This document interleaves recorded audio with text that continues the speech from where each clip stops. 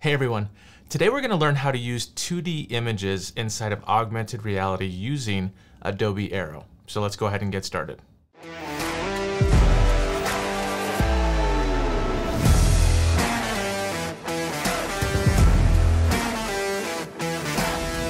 Alright, welcome back. My name is Jeff Batt, and if you haven't checked out my website already, go ahead and check out my website at learningdojo.ninja. Here you can check out all previous blog posts covering topics for all different types of learning development, like storyline, audio production, augmented reality, interactive videos, different JavaScript tips and tricks as well. You can check all of that out here. You can also download templates, and these are templates in Articulate Storyline, as well as XAPI and video templates. And if any of these are new topics for you, you can check out full courses covering everything from A to Z in Articulate Storyline 360, Adobe Captivate, XAPI Fundamentals, Camtasia, Articulate Rise Custom SCORM, and HTML5 Video. Now, augmented reality has been a strong interest of mine for a long time. The idea of being able to put learning content in the perspective of what the learner is seeing is something that I think has a lot of direct application. So how do we start working with augmented reality? Now I have a lot of different uh, videos on augmented reality and some of them use Adobe Aero. So you can check out those, but specifically today I wanted to talk about using some of your Photoshop skills to be able to take some of those images and bring them in, or even just getting like stock images or something like that, and bringing those into an augmented reality experience. So I'm going to show you working with three different types of images. The first image is just a static PNG and how to even bring that inside of your augmented reality.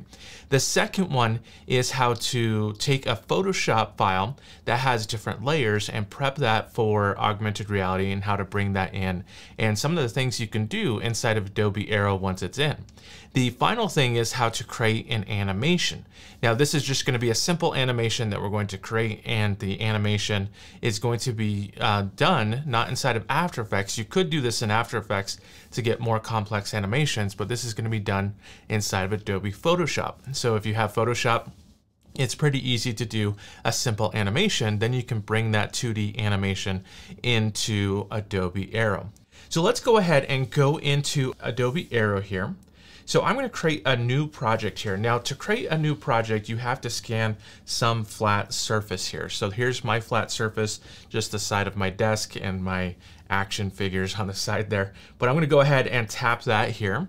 And once you tap somewhere, this is where you can start building your augmented reality. When you're building augmented reality, you have to have some type of anchor.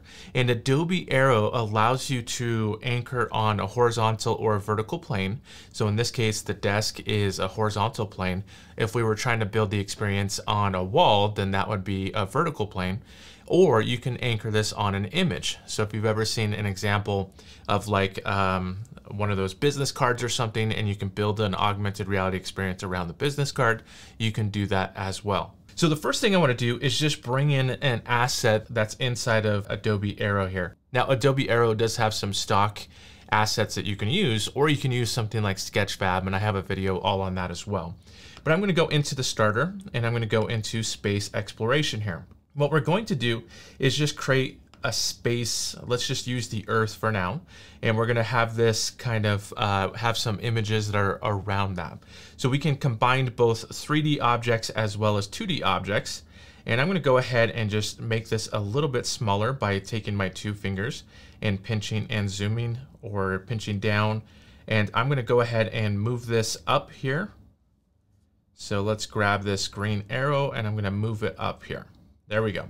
So I'm going to build my augmented reality experience around with these 2D images around, this earth here. To make it more realistic, I'm going to go ahead and add an animation to this earth. So I'm going to select this earth and then we're going to add a behavior. Now we haven't gotten to the 2D images yet. I'm kind of just setting this up to begin with. So on start, we want this to happen. That is the behavior. And this is the action that's going to happen. What we're going to do is have it spin and then I can adjust some of the settings right here. How long do I want this to take? Well, I want it to spin around, or at least take like 40 seconds to spin around one time here. Now I don't want easing in and out because the easing is like the start of the animation and it starts to slow down at first and then get faster and then out means that it will slow down at the end. I don't want that. I'm just going to keep it the same uh, speed the entire time. So I'll select linear and then I'll go ahead and have this as infinite. So that means that it's gonna just keep repeating over and, over. If I was to go ahead and preview this, let's just select the check mark down at the bottom here, and let's select preview, you'll notice that there is our Earth starting to spin. So this is set up. Now we're ready to just bring in some 2D images to kind of add to this. So I'm gonna go back into edit here, and let's insert our image. So I select this little plus icon, and I can go into files. If you have this saved on Dropbox on your iPad, then you can go into Dropbox or if you have it in your files, any location works. I'm gonna go ahead and go into my cloud. I know I have it inside of my folder here and I'm gonna go into my blog post and this is gonna be the 2D images and there is my sun facts. So this is just basically a PNG file that I created inside of Photoshop. And now I'm going to angle the camera down so I can see the arrows. I'm going to move this up here. So it's just going to be right above the earth. Now I'm not going to do this for this video, but it's also good with augmented reality to have different perspectives, to be able to go all around the 3D object to make sure that the position of this PNG looks good. I'm to make this slightly smaller, so I just take my two fingers and pinch it down. Now I could create a behavior where I select on the object like the Earth, and then even though it says Sun Facts, I probably want to grab an Earth Fact or something like that. And then I could select the Earth and that would pop up. Now I'm not going to show you how to do that today. You can check out some of my other videos for that, but this is just how to bring in a PNG file. So you can create the PNG file and style it however you want, and then bring it into this augmented reality experience. Now what I'm going to do is go ahead and insert a Photoshop file. But to be able to do that, what I have to do is come over to Photoshop here. And there is one step in Photoshop you or a couple steps you have to do.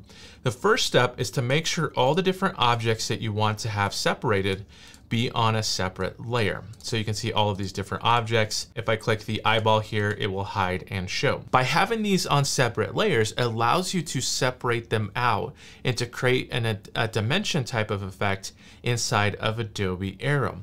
But to be able to prep this for Adobe Aero, there is one extra thing that I need to do. So I'm gonna go ahead and go into File, Let's say I've created my Photoshop file. I'm gonna go ahead and click on export and then I'll click on export for Aero. This will still save it as a PSD file, but what will happen is it's now properly prepped for it to be brought into Aero and then I can adjust those dimensions. So I've already done that. I can come back into Aero here and I can click on this plus icon and then I can go into my files and I'm going to go back into that same location that I had the PNG file here. So inside of here, I'm going to go ahead and select that space PSD file. Depending on the size of it, it may take a second to load. I can tap to place that. Now I'm going to place this behind everything and I'm going to pinch and zoom so it's a little bit bigger. That way it blocks out anything that's kind of behind the scenes there.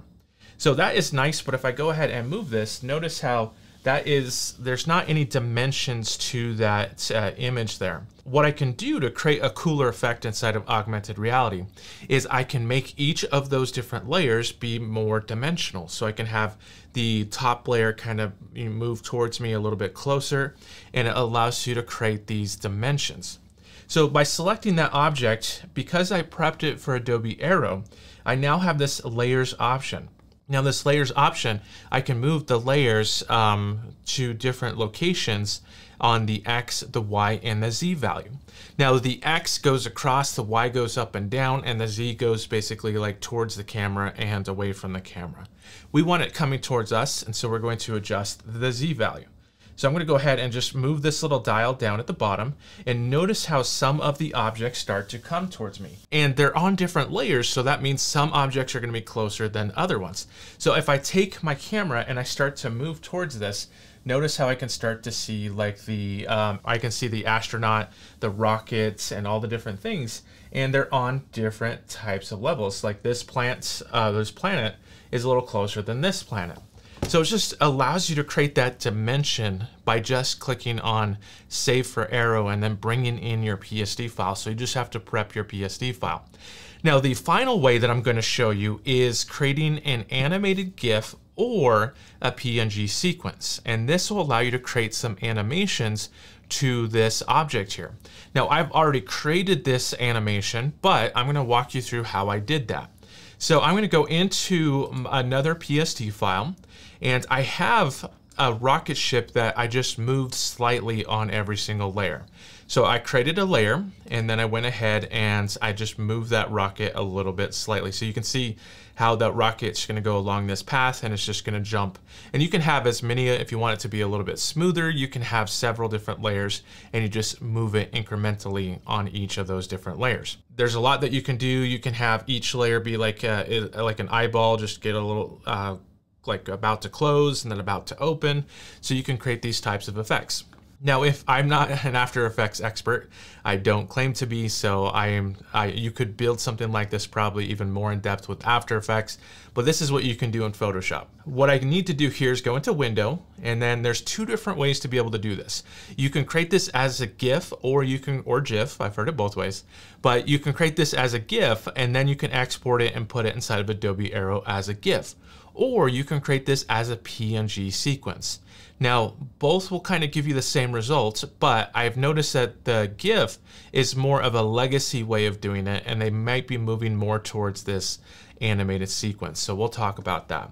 So I'm gonna go down to timeline. This is the first step. Now in timeline, you can go ahead and create two different types of timelines. You can create a video timeline that's very similar to like any video editing software, or you can create a frame animation. Now for the GIF, this is what you'll want to do. You'll want to create a frame animation. Now in that frame animation, you can then select all your different layers over on the right hand side and then click on this little menu icon and then you can have make frames from layers. So now it's going to create this frame and I can click on each of those and you'll notice how that it's going to show that layer for each of those frames. You can adjust the speed of each of these frames by selecting this drop down box and say, okay, I want this to only show for 0.2 seconds. So it's going to show for 0.2 seconds and then it's going to move on. Other than that, it's going to go through real quick. So I can kind of slow it down at certain spots if needed. That is one way of doing it. The way to export this out is you would have to go to File, Export, and then this is where you have to do it as a legacy. So save for web legacy, which is still works and then you uh, save it as a GIF. And then you can bring that GIF, you save it somewhere on your drive on iCloud or Dropbox or something like that, or the Creative Cloud drive as well. And then you save that and then you can bring it inside of Adobe Aero. Now I'm going to show you the other way of doing this. And so let me just go ahead and hit Control Z to go back here. Instead of the frame animation, I kind of like the video timeline a little bit better. So, because if I click on video timeline, notice how it now creates this timeline for 15, almost even like three minutes all the way up. I don't want it three minutes, but with all these now inserted as different layers in my timeline, I can go ahead and select this menu item and then go to convert frames and then say make frames from clips.